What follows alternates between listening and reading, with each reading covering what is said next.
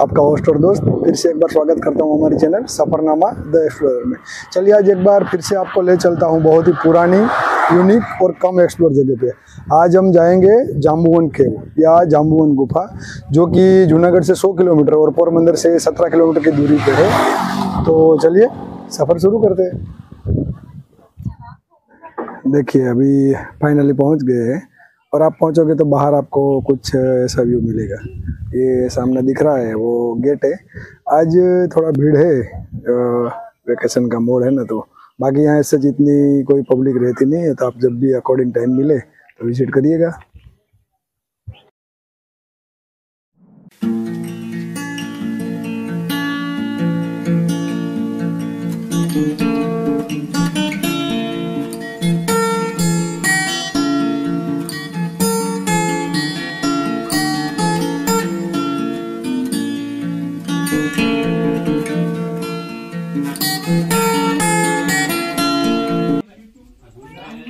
इस जगह को आप बाहर से देखोगे ना वैसे आपको आइडिया नहीं लगेगा कि इतनी बड़ी और इतना पुरानी क्या होगी यहाँ पे।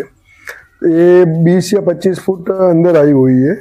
और देखो, ऐसे रास्ता बना हुआ है सकड़ा रास्ता है, पर लगाया है उतरने के लिए। तो आप इजीली सीढ़ियाँ है तो उतर सकते हो, ऐसा कुछ नहीं है। मैं इसके बाद है ना पूरी केव का भी देखो वीडियो लूँगा आराम से। यहाँ अंदर है ना 51 शिवलिंग आए हुए हैं और हर एक शिवलिंग पे अपने आप है ना कुदरती तौर पे जलाभिषेक होता रहता है। आप देखिए पानी टपक रहा है और इतना क्लीन और इतना वेल मेंटेन रखा है इस गुफा को। तो उसके लिए गवर्नमेंट को मैं थैंक्स बोलना चाहूँगा। ये बहुत ही यूनिक जगह है। अगर आप आओगे ना तो आपको एक अलग ही एक्सपीरियंस मिलेगा। यहाँ की मिट्टी एकदम बोले तो जैसे कि ठंडी है। और जैसे अपने रहते हैं ना जो साड़ी में जो लगाते हैं चमकीला, वैसी चमकीली मिट्टी है यहाँ पे। और अगर इस जगह की हिस्ट्री की बात करें तो रामायण खत्म होने के बाद जामन जी को श्री राम ने कहा था कि आप इस जगह पे शंकर भगवान की आराधना करिएगा। तो उन्होंने पूरे एक युग तक यहाँ पे उनकी आराधना की थी और ऐसा कहा जाता है कि वो यहाँ रहे थे और ये सारे शिवलिंग उन्होंने ही बनाए। तभी आगे चलते हुए एक मेन जो शिवलिंग है जहाँ वो पूजा करते थे, वहाँ भी चले गए। और कृष्ण भगवान उनसे यहाँ स्वायत्त मणि थी उनके पास, वो लेने आए थे तो सोचिए आप एक पूरा युग, द्रापर युग में उन्होंने यहाँ तपस्या की थी।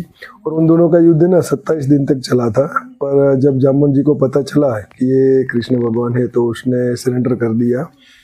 और फिर उसको जो, उनकी एक बेटी थी जामवंती करके उसकी शादी कृष्ण भगवान से कराई ये आप अगर कृष्ण सीरियल देखी हो या कृष्ण लीला जिसने पढ़ी हो, उसमें भी इस जगह का उल्लेख किया गया है। तो और उसको कन्यादान में ये स्वायत्त मणि दी गई थी। तो आप यहाँ आओगे तो ये देखिए, फ़ोटो में भी वो दिखाया गया है। तो सोचिए, बहुत ही ऐसी यूनिक जगह हमारे आसपास में ही होती है। इवन मुझे भी पता नहीं था। मुझे भी अभी रील के थ्रू पता चला तो सोचा कि चलो इसका विज़िट करते हो और एक वीडियो भी बनाते तो जब भी अगर नेक्स्ट टाइम आप आओ पोरबंदर या द्वारिका साइड या सोमनाथ साइड जाते हैं तो इसको इंक्लूड करिएगा।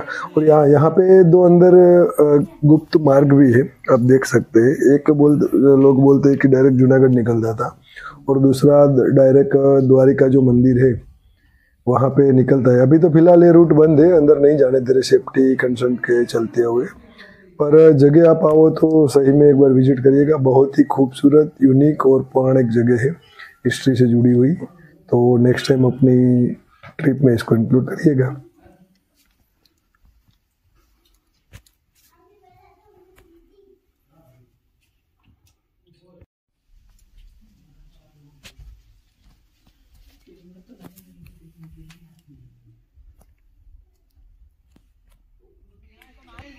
ऊपर ऐसे बैठने के लिए गार्डन जैसा भी बनाया हुआ है तो आप आराम से बैठ के थोड़ा टाइम भी स्पेंड कर सकते हो यहाँ पे। तो बस आज के वीडियो में इतना ही। और देखिए, बहुत सी ऐसी जगह है जो हमें पता नहीं, हमारे आसपास में ही होती है। तो अगली बार आप जब भी सौराष्ट्र आए तो पोरबंदर साइड जाओ। आप द्वारिका से सोमनाथ जाते हो ना तो पोरबंदर से सत्रह किलोमीटर की दूरी पे ही है, और जूनागढ़ से ये सौ किलोमीटर की दूरी पे है तो अपनी नेक्स्ट ट्रिप में इसको इंक्लूड करिएगा। बहुत ही सुकूनदेह शांत और बहुत ही पुरानी जगह है ये। तो मिलते हैं बहुत जल्द नई जगह के नए वीडियो के साथ। तब तक मज़े करो यार। आओ जो, tata see you bye bye जय हिंद।